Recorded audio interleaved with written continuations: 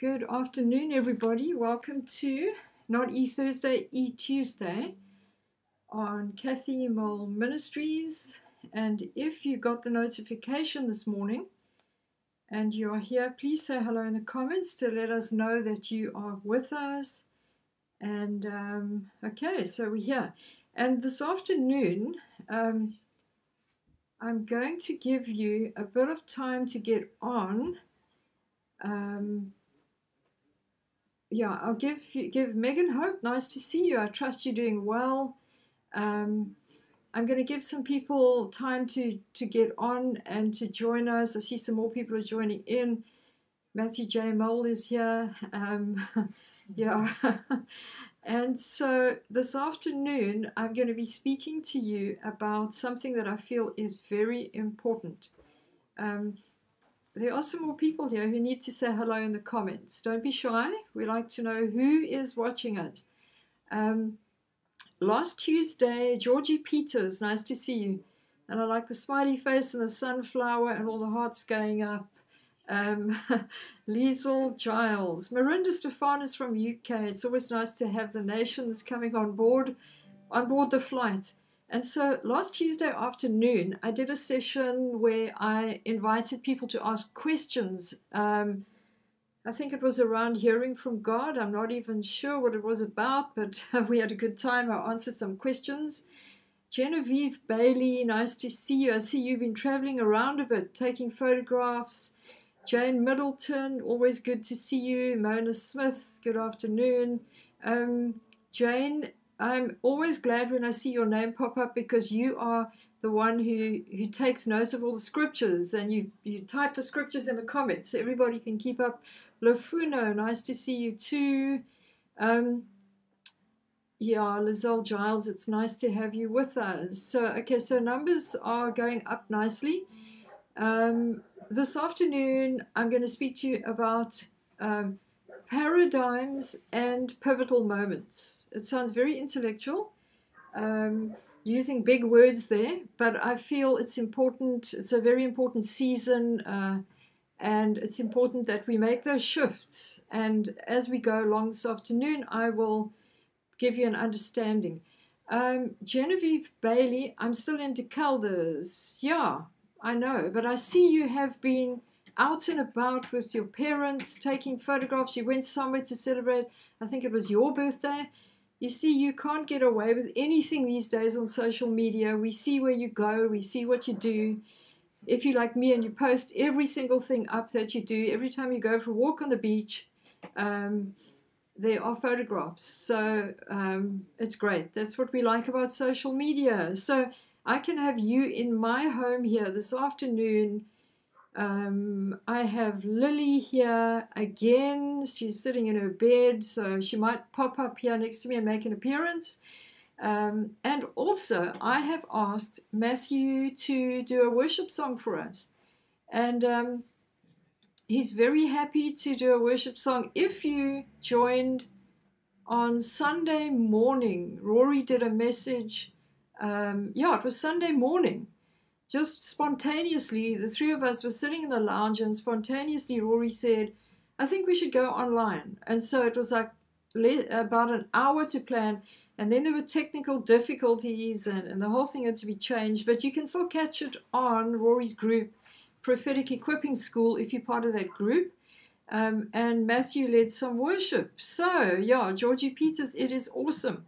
Fontini Wilters, nice to see you from Joburg. So, the early birds who got on now um, are gonna, going to have Matthew Mole leading us live in worship. So the reason I've asked him to do it is not just so he can put on a show, but we believe he has an anointing in the area of worship, and worship is part of um, it's his lifestyle. So, uh, yeah, yeah. Thank you for tagging Susan there, Fontini.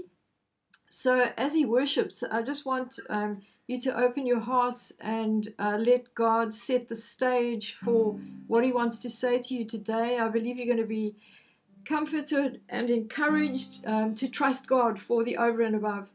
So I'm going to ask Matthew to come on now. And then I will see you in a few minutes. So if you like, you can tag some people um, who you know need to be encouraged this afternoon. Tag your friends, get them uh, to join us, and let's see what God does this afternoon. So here's Matthew, and he's going to lead us in some worship.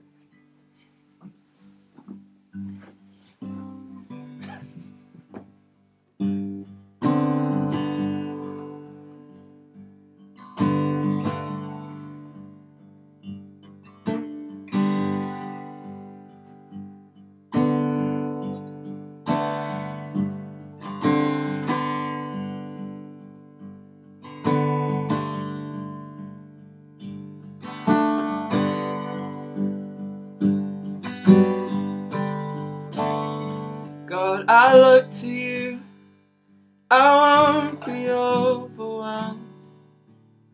Give me vision to see things like you do. God, I look to you, you're where my help comes from. Give me wisdom, you know just what to do,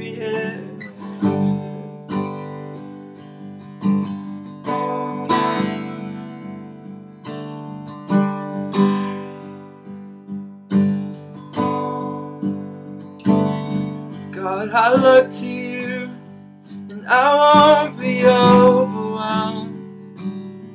Give me vision to see things like you do. God, I look to you and you're where my help comes from. Give me wisdom and you know just what to do. And I will love you, Lord, my strength. And I will love you, Lord, my shield. And I will love you, Lord, my rock. Forever all my days, I will love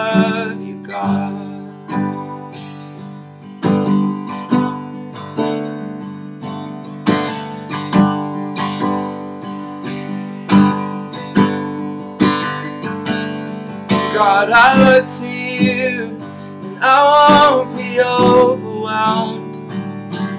Give me vision to see things like you do. And God, I look to you, and you're where my help comes from. Give me wisdom, and you know just what to do. And I will love you, Lord, my strength. And I will love you, Lord, my shield. And I will love you, Lord, my rock. Forever all my days, I will love you, God. And hallelujah, our God Hallelujah, our God reigns. And hallelujah, our God reigns. Forever all my days. Hallelujah.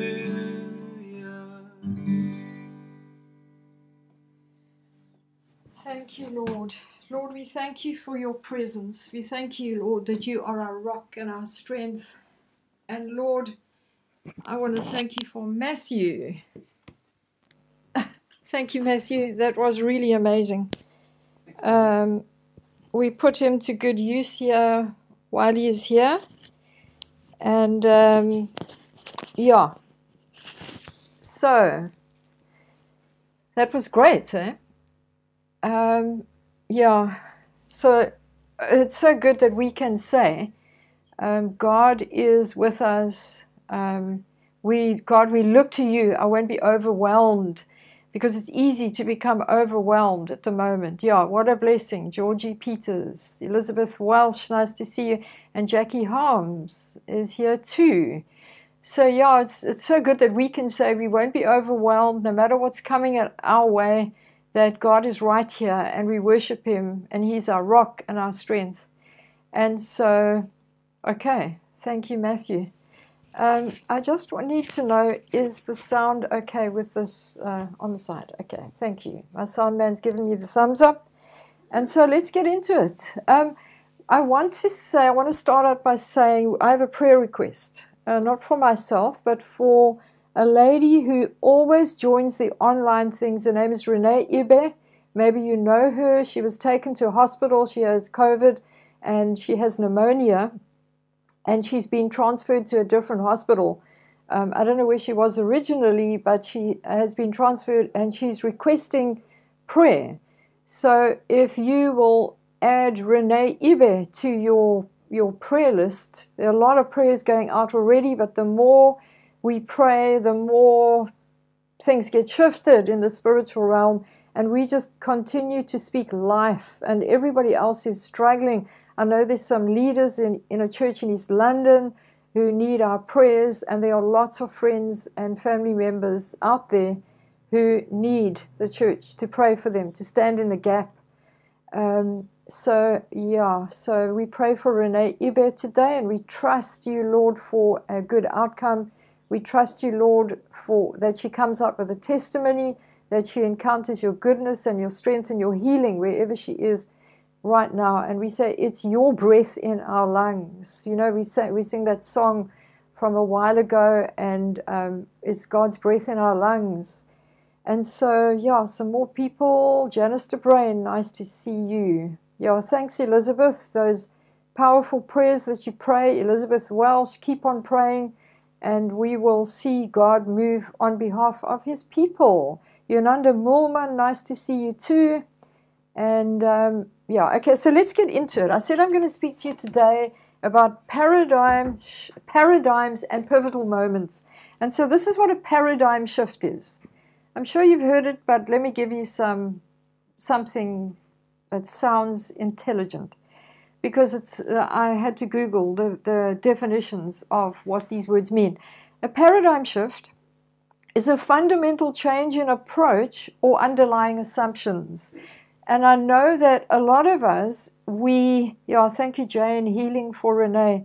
Um, we, um, when it comes to needing God to do a miracle, we are right many times, we're right on the edge of seeing the breakthrough or seeing a miracle, but the voice of the enemy is so much louder in that moment. But we don't realize that just over the threshold is the miracle God wants to give us. And um, so when we begin to look at our lives as um, it's always a struggle, and we forget that just beyond that, beyond the challenge, is the greatest miracle God wants to give us and we change our approach to it. We change our underlying assumptions. We just assume it looks too difficult, it's never going to happen, so how are we going to get out of this thing? And we make a choice to change, to shift our thinking to what God is about to do, the expectation of what He's about to do. And then we find that we come out from the place of living under the circumstances and being beaten down by the sound of the enemy. You know, those wheels behind us, the thunder cloud, not thunder cloud, the dust cloud of the chariot wheels coming behind us. And all the time, God's saying, just keep your eyes on me. The, the miracle is here.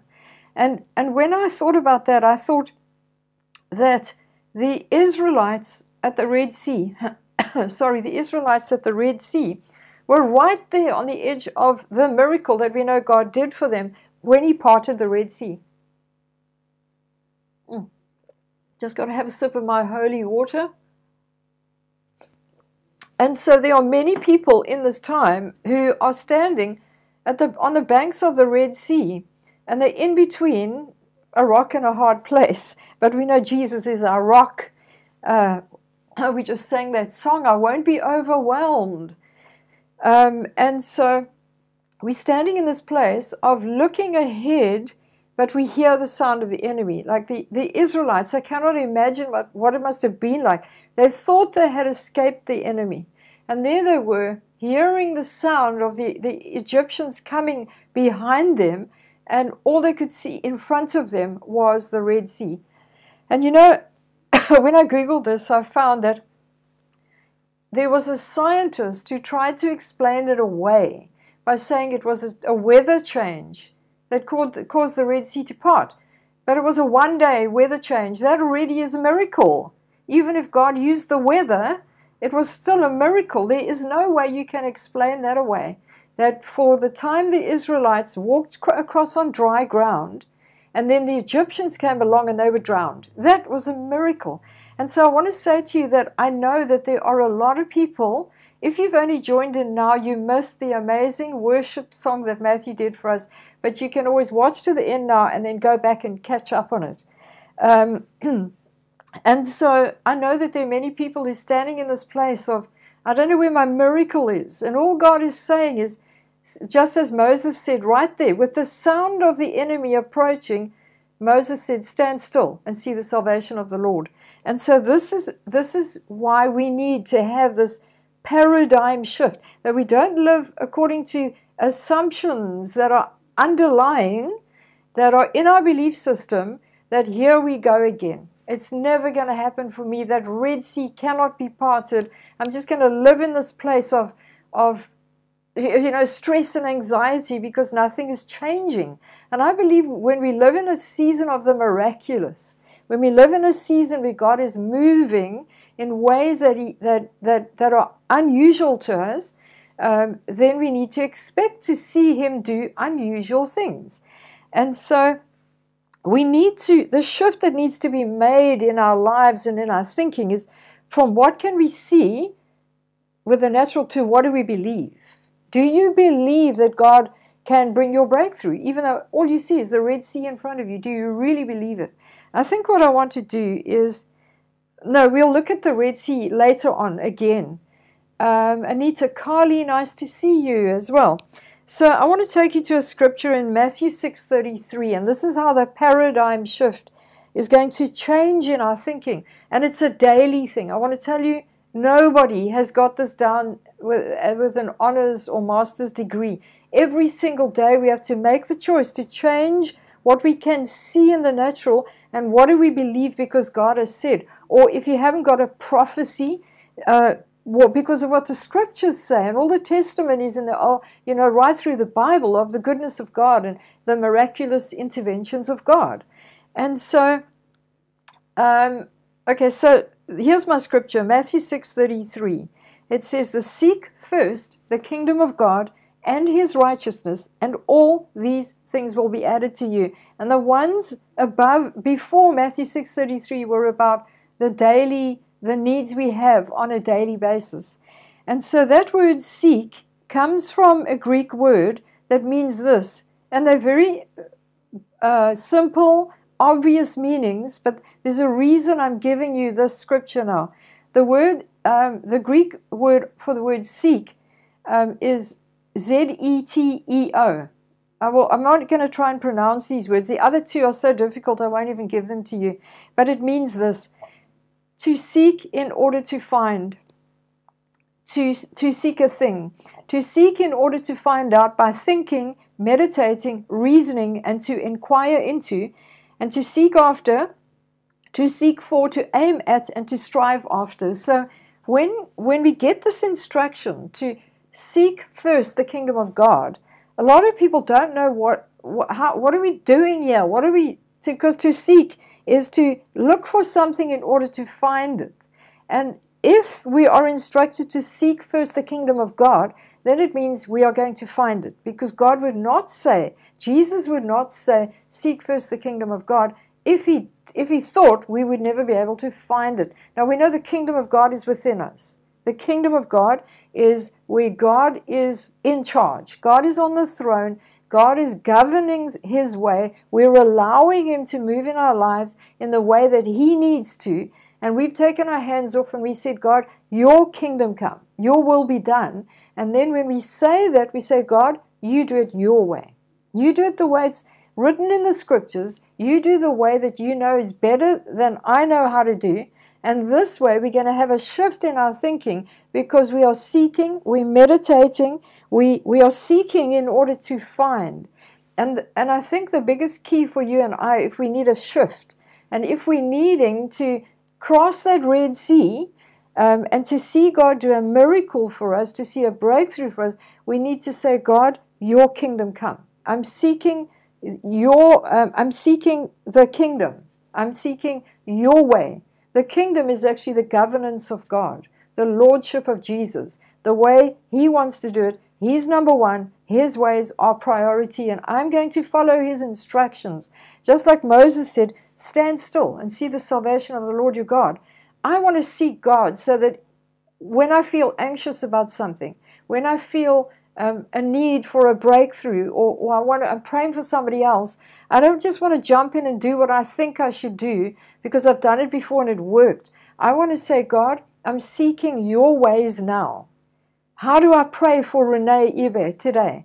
Um, I can pray in tongues I can, because I don't know what to say. I can bind and loose and I can prophesy over her.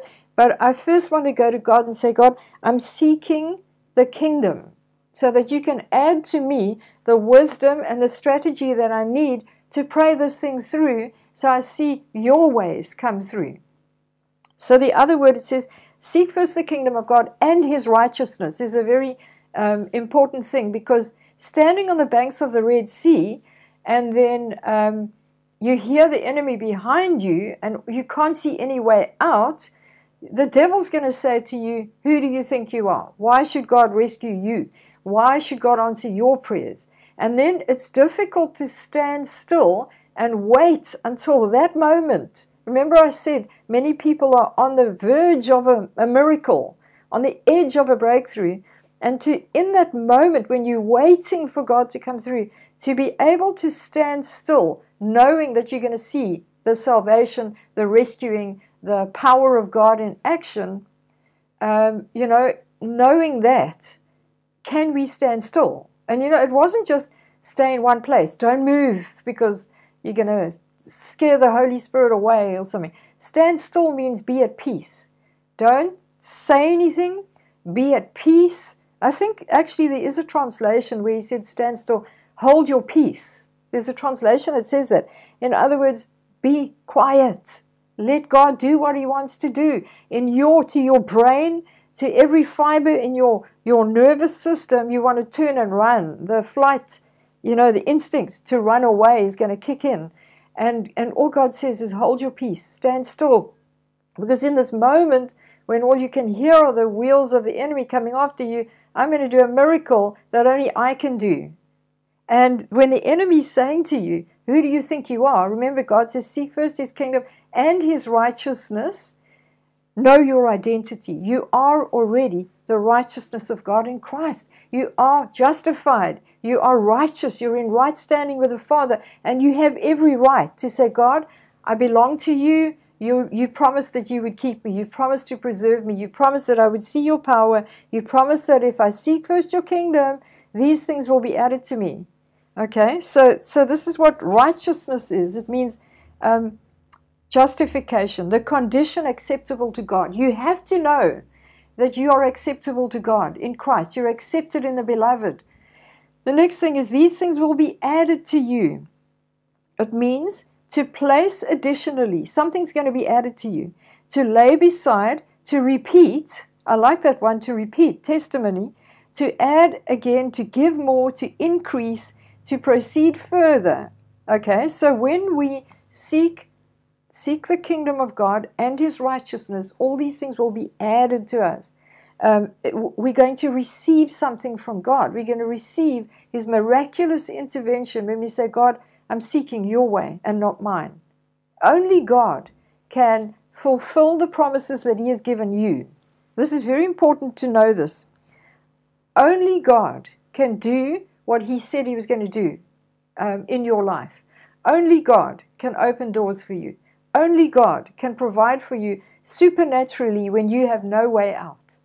Only God can heal someone who needs healing. Only God can perform a miracle.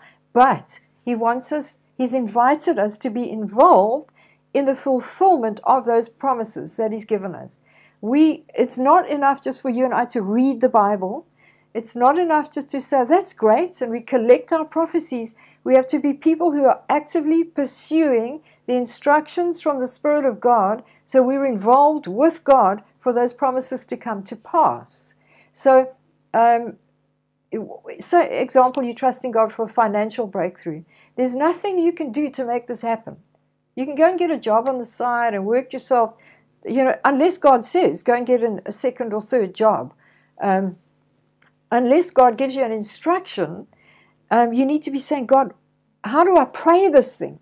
And I want to say the place that God God invites us to be involved in is our faith. That's it. Put your faith in me. Like stand still and see the salvation of the Lord. Put your faith in me because you cannot get away from the Egyptians on your own. You can't run across the Red Sea. You can't turn anywhere and hide because the army that is chasing you is bigger than you on your own. But with God, you know, if you read that story of the Red Sea, um, maybe let's go there. Let's go there. It is um, the Red Sea. It was Exodus chapter 14. This is what he says. Um, Moses said to the people, it's from verse 13 onwards, Moses says to the people, Do not be afraid. I mean, what a thing to say when you the enemy that you've just escaped from is running after you to and not just to take you back to Egypt, but they want to take you out now. So do not be afraid, stand still and see the salvation of the Lord, which he will accomplish for you today. For the Egyptians whom you, see, whom you see today, you shall see again no more forever. The Lord will fight for you, and you shall hold your peace. That's how you keep your peace, knowing God is going to fight for you. And the Lord said to Moses, Why do you cry to me? Tell the children of Israel to go forward. But lift up your rod and stretch out your hand over the sea and divide it, and the children of Israel shall go on dry ground through the midst of the sea. Now you know what happened there. This is a, this is Moses uh, prophesying to the people. Don't be afraid. You know what happened. They walked across on dry ground just as it was said, and God fought for them. It said the angel of God came and stood behind them.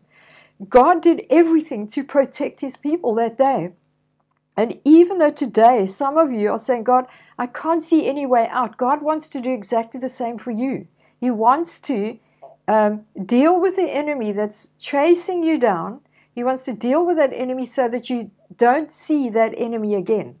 And you remember, you get to the other side of the Red Sea, and then they did a big dance, and Miriam got her tambourine out, and they, they sang the, the horse and rider thrown into the sea. The Lord has triumphed, and it was an amazing party they had on the other side of the Red Sea. But a lot of people think they're never going to get to the other side where they celebrate. And so it's difficult to stand on this side um, of the Red Sea with the on the same side as the enemy pursuing you, and, and God saying, Hold your peace, stand still. But I want to say to you today, this is the time to stand still and expect to see the salvation of God. I really believe it. This is a time for you and I to see God move things out of the way and move things into place so that we walk across on dry ground and God deals with the enemy. But we need to be saying, God, how do I get involved with your plan so that those promises can come to pass? And the first way is your faith, seeking the kingdom of God and his righteousness so that he can add all of those things to you. There was a, there's another way. When we talk about um, seek first the kingdom of God and having a paradigm shift. What are we expecting to find when we seek the kingdom of God? You, when you're seeking something, you expect to recognize it when you find it, don't you? So, what are, when when we say, "Okay, God, I'm going to seek the kingdom of God and your righteousness, so things can be added to me," um, what do I expect to find on the other side? It's like an Easter egg hunt. You don't go, looking for Easter eggs, not knowing what they what an Easter egg looks like, because then you will never find it. So the kingdom of God, I said this already, the ways of God, the kingship or the government of God, and then how things are done in heaven. When when you when you find the kingdom of God in a situation, you find how things are done in heaven. There's no discouragement in heaven, there's no sickness in heaven, there's no lack in heaven.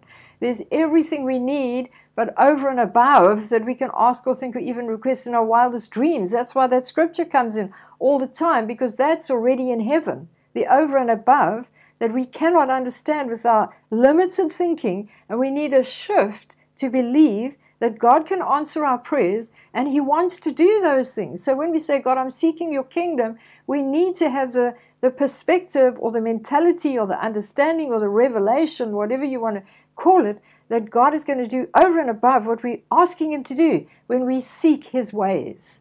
The, here's a scripture that I, I posted up last night, I think late last night. I found the scripture.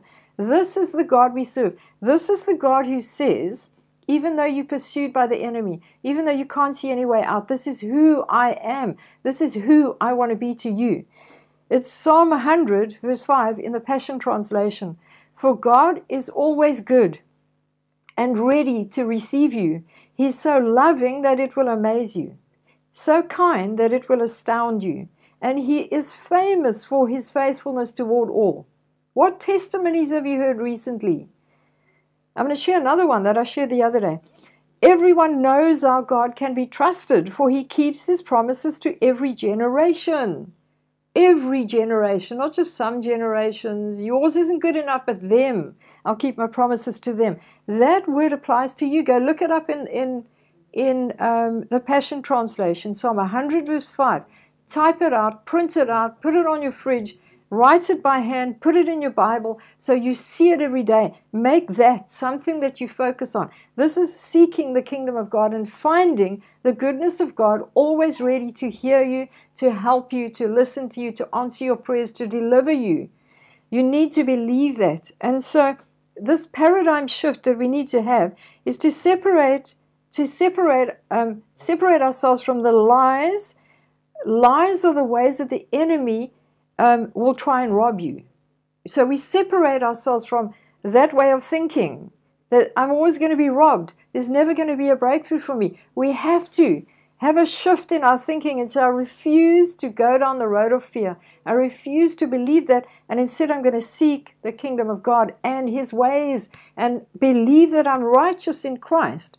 And then um, this is what grace is grace is supernatural empowerment to live in a way you couldn't live before. And, uh, and, and, a lot of us are still trying to live the way we did before we got saved, or before we had a revelation of this good Father that we serve, and we're still trying to make things happen and still sweating.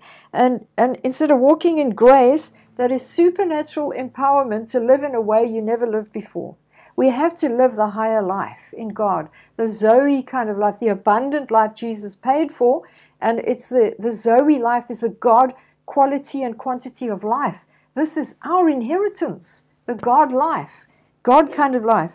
So um, I want. I said to you, this is this is. I said to you, um, ask, trusting God to do more than we can we've seen before. Um, maybe you saw, I shared this testimony. Um, I, didn't share it online, but I, I, I, typed it out and I shared it that there was a lady who was on one of the online sessions a couple of months ago. And I remember, I think I was speaking about healing, and I gave her a prophetic word online. I saw her name pop up, and I gave her a word, and I said, God wants to heal you of something that has been harassing you for a long time, and you have a healing anointing. God wants to use your testimony and you're going to lay hands on the sick and see them healed. And so, maybe about a week ago, she sent me a message saying that she remembered that word that I gave her and she'd been struggling with um, uh, something in her colon um, for 11 years. Uh, she gave me the word uh, ulcerite, uh, colonitis or something where you develop ulcers in your colon. And she'd been seeing the same um, doctor for 11 years, 10 or 11 years. And she said um, she went for her annual checkup, and this doctor said, if I didn't, if I hadn't been treating you for the past decade, I wouldn't even think that you had this disease. There was no sign of it. I want to tell you, this is online. If God can do that for her, what, how much more can He do when we say, God, I believe, that's it, ulcerative colitis. Thank you, Elizabeth Welsh. I believe that God wants to do this again and again and again, and He wants to do more than that. That was great. Her name's Siphokazi. Um, I don't think she's online today, but God wants to do more of that. And so get your thinking changed that all you're going to do is stand on the banks of the Red Sea and, and hear the sound of the enemy pursuing you every single day change, have a shift and change your thinking, all you need to do is place your faith in the faithfulness of God to deliver you. And you are going to see Him do some amazing things and turn some things around and part the Red Sea for you and deal with that enemy that you've been dealing with. Just like um, this lady I'm talking about now, she had she dealt with this thing for 10 years.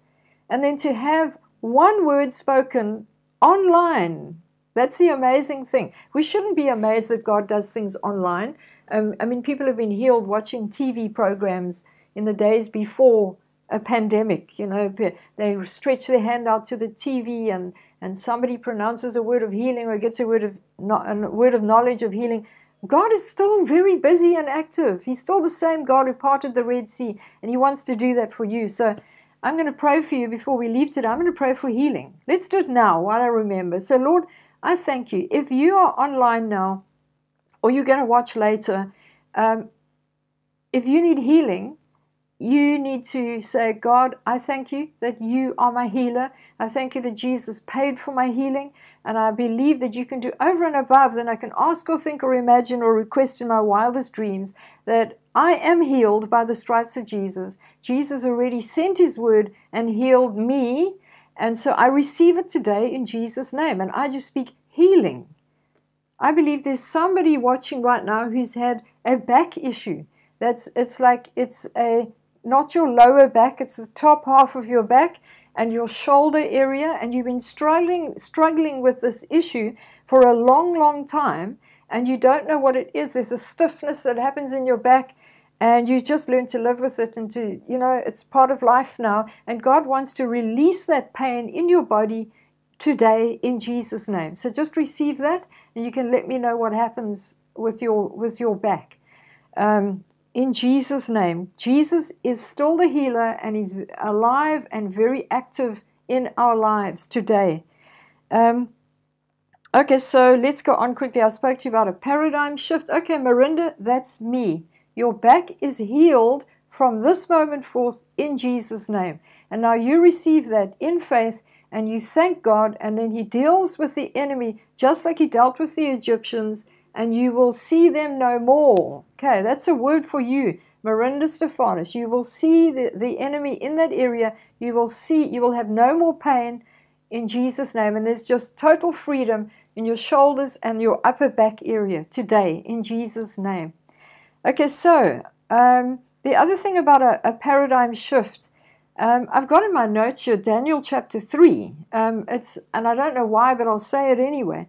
It's the story of um, um, Shadrach, Meshach, and Abednego when they refused to bow down to the statue and they were thrown into the fiery furnace and they came out and they didn't they, their hair was not singed by the fire and they didn't even smell like smoke now um, i believe we need to expect this kind of thing. This not to be thrown into a fiery furnace please jesus but that we don't even smell like the or you know or, or have any sign of the harassing of the enemy on our lives. We don't have the signs of anxiety and depression and worry but we are able to stand still because we know we're going to see the salvation of God in the season. We know God is moving for us. We know He keeps us and preserves us and He upholds us.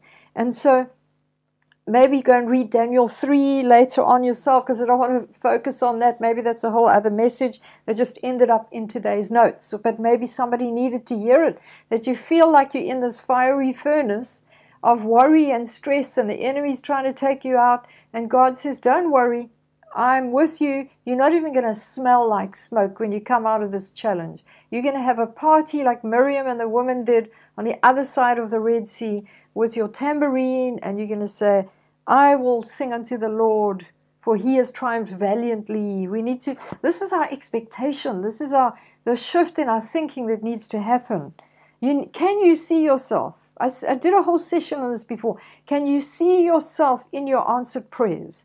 Can you see yourself doing what God has said you're going to do? Or are you seeing yourself living in pain, living in worry, in stress, having lack? No, we've got to get out of that thinking and say, God, what do you say about it? What do the scriptures say?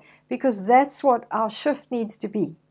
No more underlying assumptions because the enemy is going to continue to plant seeds. So you assume, no, it's not going to happen, you know, for me. It's always for somebody else. Let's get out of that way of thinking and become these believers who believe that God is going to do what He promised He was going to do.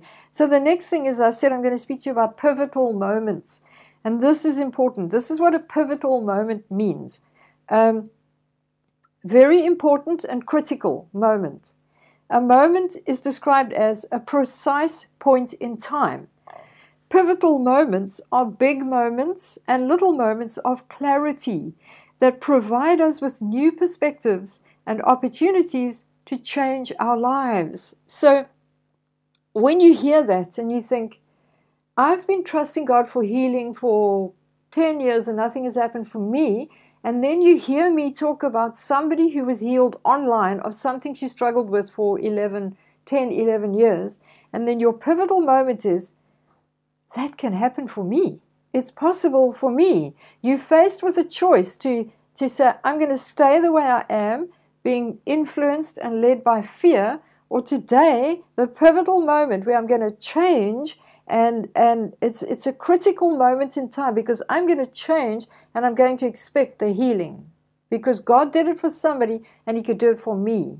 So the testimony rings the bell for you and you say this is a pivotal moment. It's changed my perspective about what's possible with God. Have you ever heard people um, they preach this message that sounds so uh, it's amazing. It's it sounds so simple, but at the same time, it's deep and it's powerful, and it hits you in the spirit, and you think, "Why did I never see that before?"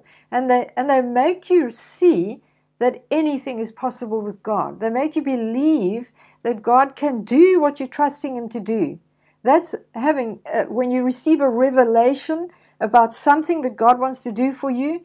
Um, you you hear somebody's testimony and you say, if God could do it for them, He can do it again. That is a pivotal moment. That's where things change for you, your perspective changes, and your faith level just rises. Now, this is what we need to be living, how we need to be living, where our faith level is rising and we refuse to be kept under by the lying lies of the enemy. So, um, so we position ourselves in faith in a pivotal moment. We say, okay, my perspective has been changed, but it's not good enough just for me to have a different perspective. Now, what do I do with that new perspective?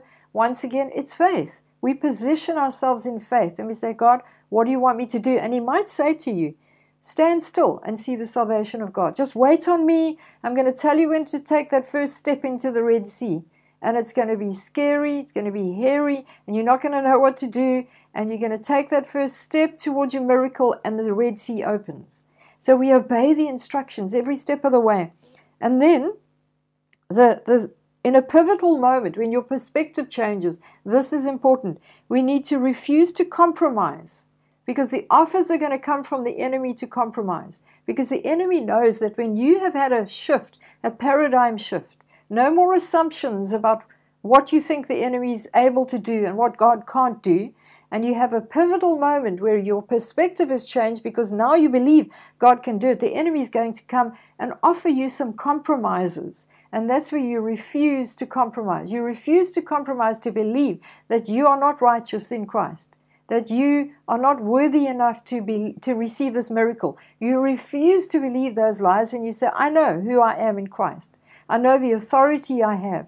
I know that I'm a threat because I have had a perspective change. And this is a critical moment for the church, I believe. It's a critical moment for you and I to have that shift in our thinking, to believe that we're about to see the miraculous outpourings of God, that we're about to see the glory of God being revealed through His church.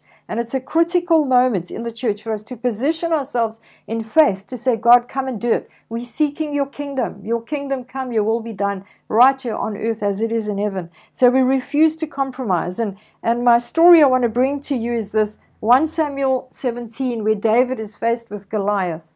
And he goes out there, he ran, he ran towards the battle, and he prophesied to the opposition. Are you prepared to prophesy to that challenge that has been chasing you down? Are you prepared to say, This is what God said? I refuse to believe you anymore.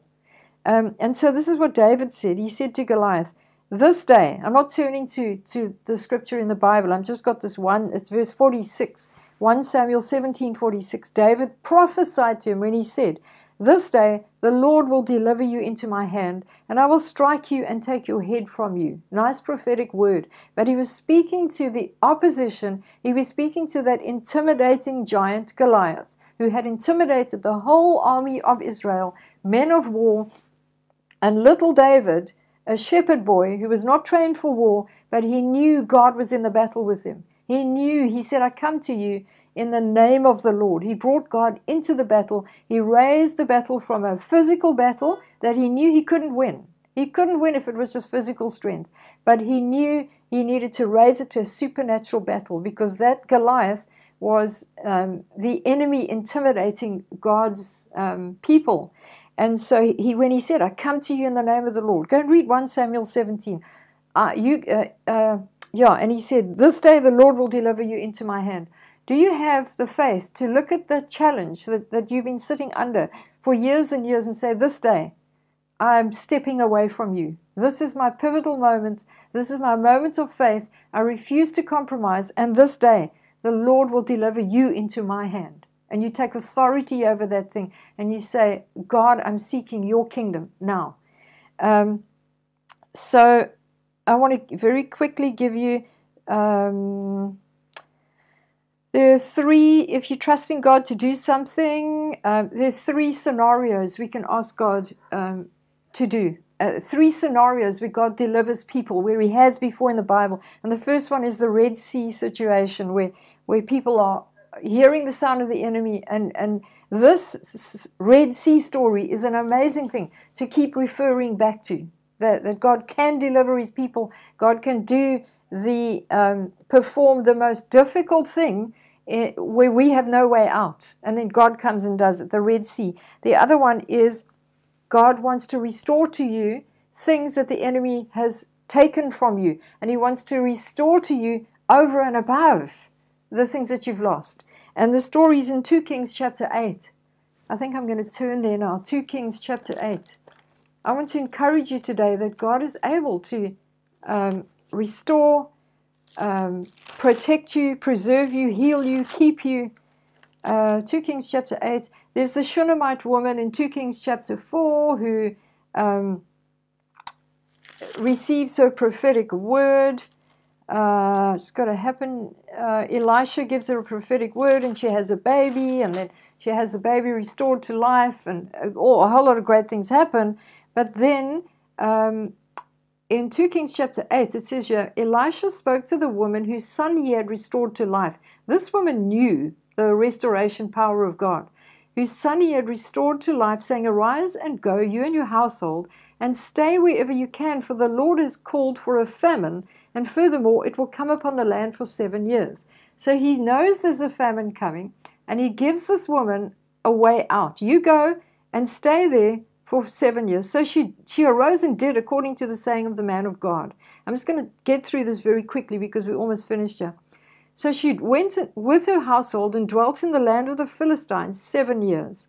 It came to pass at the end of seven years that the woman returned from the land of the Philistines, and she went to make an appeal to the king for her house and for her land. Then the king talked with Gehazi, the servant of the man of God, saying, This is the timing of God. Tell me, please, all the great things Elisha has done just at this moment in time. Talk about a pivotal moment. Now it happened as he was telling the king how he had restored the dead to life, that there was the woman whose son he had restored to life, appealing to the king for her house and for her land. And Gehazi said, My lord, O king, this is the woman, and this is her son whom Elisha restored to life. And when the king asked the woman, she told him. So the king appointed a certain officer for her, saying, Restore all that was hers, and all the proceeds of the field from the day that she left the land until now. This was total restoration. After being away for seven years, she just happens to come into the same place where they're talking about her situation and her son being restored to her back to life. And everything is, a, a decision is made right there by the king give her everything, give her her the proceeds of the field, It's like back pay for seven years. She wasn't even there. Back pay. Her land, her house, and the proceeds of the field from the day she left until now. You know, God is able to do that for you. I want to encourage you today. You may think you've been robbed in the area of healing, you've been robbed in the area of vision, you've been robbed in all kinds of things, maybe uh, real inheritances financially. And God is able to do that. But you need to be saying to Him, God, I need a shift in my thinking. I've been living under this expectation for so long that this is how it's going to be. This is my lot in life. And today God is saying to you, He's, He wants to restore to you what the what has been stolen from you by the enemy. You know, in Joel, restore to you the years that the locust has, has eaten, uh, has stolen from you. Um, so God is a God of restoration. And when we have our thinking changed in that area, we begin to look for it. We begin to seek after it. Just as we seek the kingdom, the kingdom way is that God would restore to you. The God's, God's ways are not that you will be robbed for the rest of your life. God's ways are that you walk in restoration, that you receive back over and above what the enemy has stolen from you. And so, um, yeah, uh, there is another one here. There's uh, cancellation of debt. How many of you would like all your debts cancelled today? We, Rory and myself, had, um, and and we know. Uh, just let me say this to you. In Deuteronomy, it says here, verse 15, it says, At the end of every seven years, you shall grant a release of debts and this is the form of the release. Every creditor who has lent anything to his neighbor shall release it.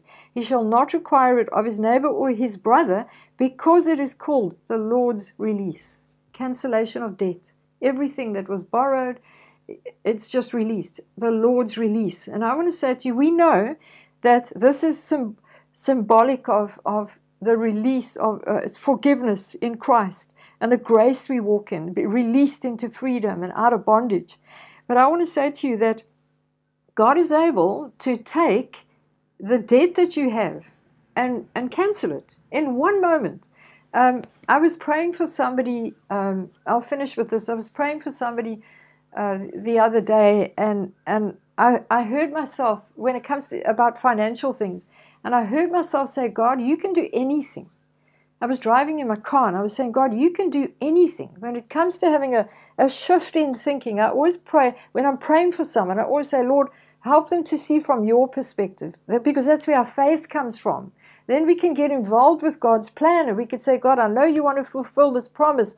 And now that I've had a change in my thinking and I see from your perspective, then I can pray the way God wants me to pray. But if you're praying from a place of, I'm so stressed about this thing, then you, you end up praying those begging prayers and we don't know what to pray. We run out of things to pray. So I always pray, God, help this person to, to see from your perspective because yours is always positive. You're always able to do things that we can't do. Only you can do this thing. And then I heard myself say to God, there are three scenarios here. This is what you can do. Um, the one thing is you can cancel debt in one moment, God can give somebody favor with the people you owe money to. And in one moment, no explanation, they can say, Okay, I release you from that debt, the Lord's release. I release you from that debt. Okay, so, so I said, God, you can do that. Nothing, there's nothing. The, the Deuteronomy scripture is Deuteronomy 15, 1 uh, and 2. Um, Oh, well, let me just read verse 6 as well. It says For the Lord your God will bless you just as he promised you. You shall lend to many nations, but you shall not borrow. You shall reign over many nations, but they shall not reign over you. That's a promise to God's people. Go read Deuteronomy 15 1 to 6. So, okay, so the first thing was um, God can cancel debt. Um, the second one was um, that God can restore. Um, God, you've done it before. I read it in the Bible. This was me speaking to God. I read in the Bible that there was the Shunammite woman who walked in in this um, right at, at the right time. It was not coincidence. And there the king was asking about her, and she walked in, and the king says, Restore everything to her with back pay, everything, the proceeds from the land. God can do that for his people today. And then this, the third scenario was out of our own experience when it comes to um, cancellation of debt. And I think the reason I'm speaking to you about cancellation of debt and restoring all of this is because when we have a shift of thinking, we begin to believe that God wants us to prosper. And we realize I've lived under this lack, victim, poverty mentality without realizing it. God wants me to prosper. Um, and so uh, I began to say, God, you did it. Um, you know, you've done it in the Bible. Um, so I want to ask you that you would speak to people supernaturally.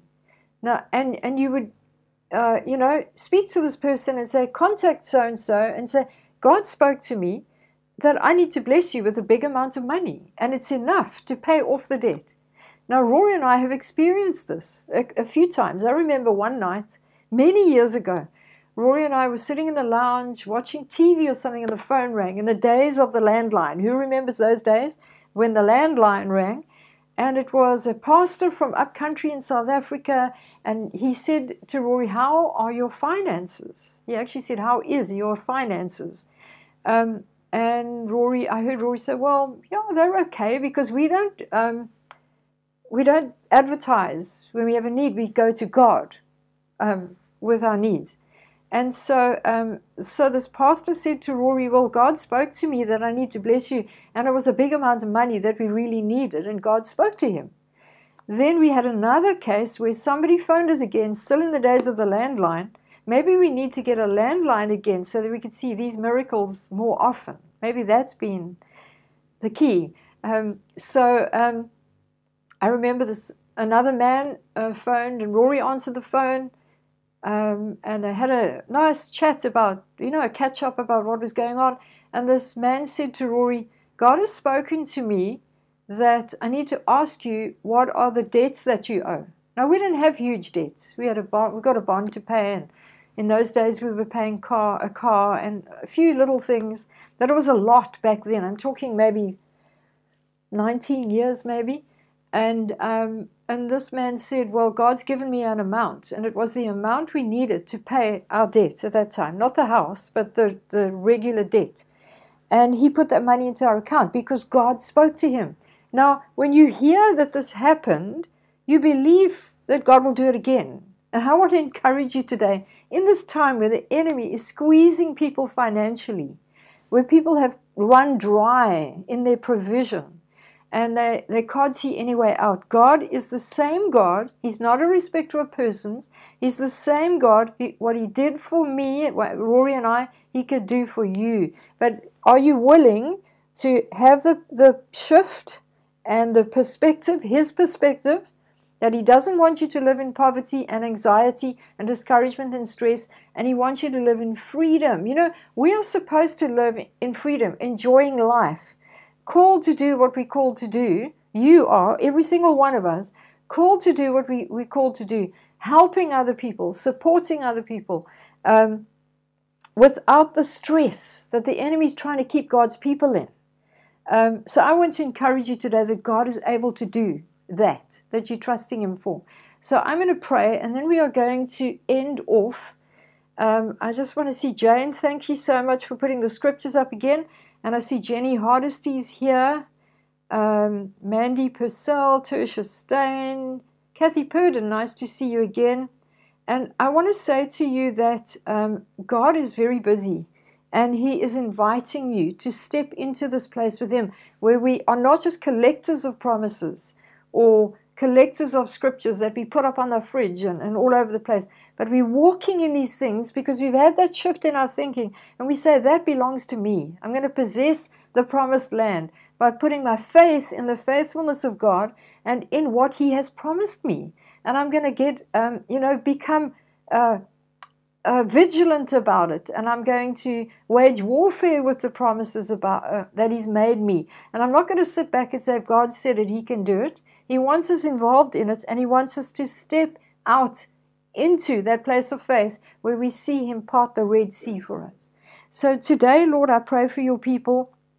I thank you, Lord, that song that Matthew started us off with. If you if you only join in later, go back to the beginning and, and just put that song on and close your eyes and say, God, I need a perspective change today. I need a paradigm shift. I need a pivotal moment in changing my perspective.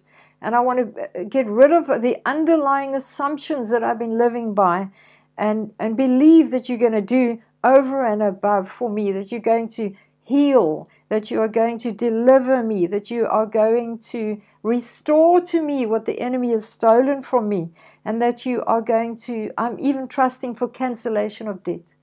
In Jesus' name. And so, Lord, I pray for your people. Go back to the beginning and just listen to that song.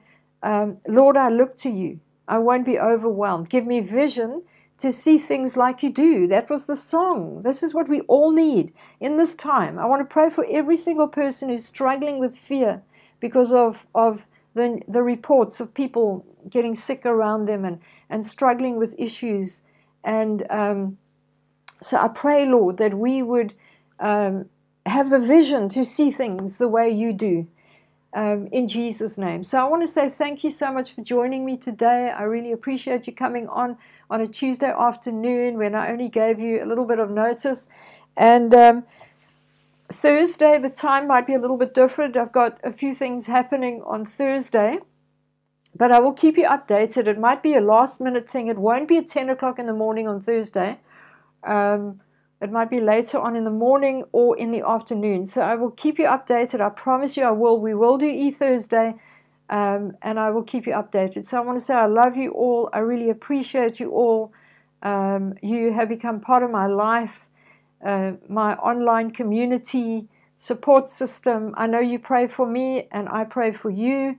And um, thank you so much for today. So be blessed, be strong. Remember, you, you may hear the sound of the enemy pursuing you, but let God's voice be bigger and louder for you today. So have a fantastic Tuesday. See you soon.